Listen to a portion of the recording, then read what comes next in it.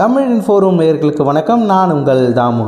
உலகில் உள்ள வினோதமான பாலங்களை பற்றி தான் இன்னைக்கு பார்க்க போகிறோம் ஸோ வீடியோவை ஸ்கிப் பண்ணாமல் ஃபுல்லாக பாருங்கள் அதுக்கு முன்னால் நம்ம சேனலை சப்போர்ட் பண்ணுங்கள் சப்ஸ்கிரைப் பண்ணுங்கள் கூடவே அந்த பெல் ஐக்கானையும் கிளிக் பண்ணிடுங்க.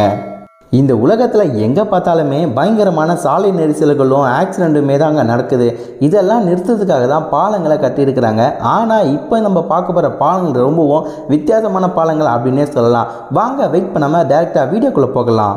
முதல் இடத்துல லிவிங் ரூட் பிரிட்ஜ் இயற்கை எப்போதும் ஒரு ஆச்சரியமான விஷயந்தான் அதில் ஒன்று தான் இந்த இயற்கையாக மர வேர்களால் ஆன பாலம். மேகாலயா மாநிலத்தில் ஒரு தூய்மையான கிராமம் அப்படின்னு சொல்லப்படுற ஒரு இடத்துல தான் இந்த பாலம் அமைஞ்சிருக்கான். சுமார் நூற்றி ஐம்பது ஆண்டுகளுக்கு முன்னால் வாழ்ந்த இந்த கிராம மக்கள் ஆற்றை கடப்பதற்காக பாலம் அமைக்க திட்டமிட்டிருக்காங்க. ஆற்றின் நடுவே சில மரங்களை நட்டிருக்காங்க. அது மட்டும் இல்லாமல் ஆற்றின் இருபுறமும் இருக்கிற மரங்களோட வேர்களை வச்சு கிட்டத்தட்ட பதினஞ்சு வருஷத்துக்கு மேலே இந்த ரெண்டு வேர்களையும் ஒன்றோடு ஒன்றா இணைஞ்சி ஒரு பாலம் மாதிரி ரெடி பண்ணியிருக்காங்க. இதுக்கு பிறகு தான் அந்த பகுதி மக்கள் பாலத்தின் நடுவே அதில் மரக்கட்டைகளையும் மற்றும் சில கற்களையும் போட்டு பாலத்தை ரொம்ப ஸ்ட்ராங்காக ரெடி பண்ணியிருக்கிறாங்க.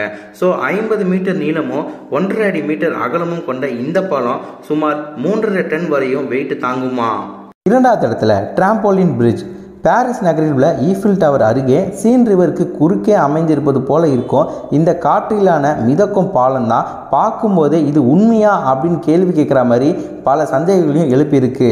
இந்த பாலத்தோட உண்மையான காரணம் என்னன்னு பார்த்தீங்கன்னா ரெண்டாயிரத்தி பன்னெண்டாம் ஆண்டு நடந்த பால வடிவமைப்பதற்கான போட்டியில் ஏசெட்சி என்ற கட்டிட குழுவால் மாதிரி அமைப்பு தான் இந்த பாலம் ரெடி பண்ணியிருக்காங்க.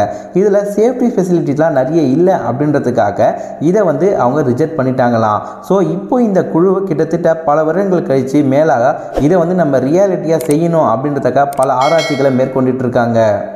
மூன்றாவது இடத்துல ஈகோலிங்க் பிரிட்ஜ் சிங்கப்பூரில் இருக்கிற இந்த பிரிட்ஜு விலங்குகள் செல்வதற்காக சுமார் பன்னெண்டு புள்ளி மூணு மில்லியன் செலவு பண்ணி இப்போது ஒரு பிரிட்ஜை கட்டியிருக்கிறாங்களாம். ஆயிரத்தி தொள்ளாயிரத்தி எண்பத்தி ஆறில் இந்த பகுதியில் அமைக்கப்பட்ட சாலையை கடக்கும்போது ஏகப்பட்ட விலங்குகள் வண்டியில் அடிபட்டு இறந்து போச்சான் இதற்கு தீர்வு காணதான் ரெண்டாயிரத்தி பதிமூணில் இந்த பிரிட்ஜை கட்டி முடிச்சிருக்காங்க. இந்த ஈகோலிங்க் பிரிட்ஜுக்கு மேற்பகுதியில் இயற்கையாக மரங்களும் நட்டுருக்காங்களாம் கிட்டத்தட்ட மூவாயிரம் மரங்களாம் அது எல்லாமே இப்போ வளர்ந்து அந்த இடம் ஒரு காடு மாதிரி இருக்குங்க. ஸோ அறுபத்தி ரெண்டு மீட்டர் கொண்ட இந்த பாலத்தில் ஆயிரத்துக்கும் மேற்பட்ட விலங்குகள் சாலை கடந்து போதான் சேஃபா?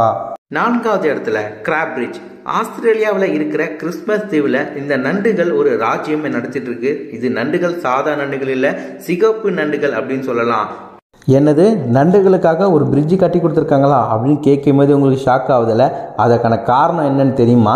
ஒவ்வொரு வருஷமும் அஞ்சு கோடிக்கும் மேலான இந்த சிகப்பு நிற நண்டுகள் சாலைகளை கடந்து தான் இனப்பெருக்கத்துக்காக கடலுக்கு செல்லுதான். அப்படி போகும்போது லட்சக்கணக்கான நண்டுகள் வண்டியில் அடிபட்டு போகுதான். ஸோ இந்த நண்டுகளோட உயிர்களை காப்பாற்றுறதுக்காக அங்கே இருக்கிற வனத்துறை அதிகாரிகள் எல்லாம் பிளான் பண்ணி நண்டுகளுக்காக ஏறி இறங்கி போகிறதுக்காக தனியாகவே டிசைன் பண்ணி இந்த மாதிரியான ஒரு பாலத்தை கட்டி கொடுத்துருக்குறாங்க.